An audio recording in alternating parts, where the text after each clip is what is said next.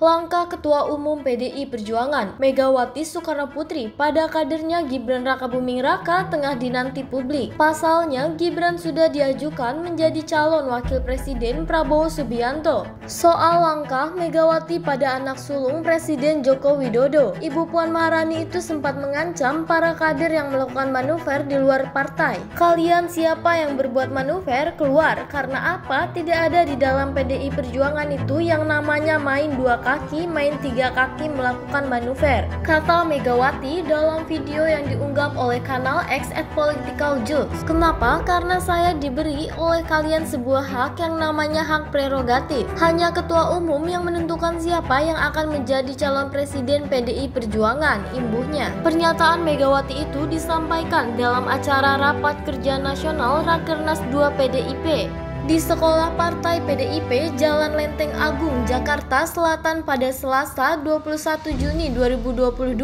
Megawati dengan tegas meminta kader yang menyeleweng untuk keluar dari partainya daripada dia pecat. Ingat loh, lebih baik keluar deh. Lebih baik keluar deh daripada saya pecat loh. Kamu saya pecat loh, kata Megawati dalam video tersebut, tegasnya. Pernyataan lama Megawati sontak mengundang berbagai respons dari warganet. Kata ibu satu ini sudah begini, siapa yang berani melakukannya? Sudah di warning jauh-jauh hari padahal, komentar warganet. Marah beneran ini bu, tambah warganet lain. Ini statement Bu Mega tahun berapa ya? Bener juga sih, harusnya ditindak tegas juga tapi memang belum terbukti sih, kan belum daftar ke KPU, tulis warganet di kolom komentar. Coba pecat dong kader yang nakal itu, timpal lainnya.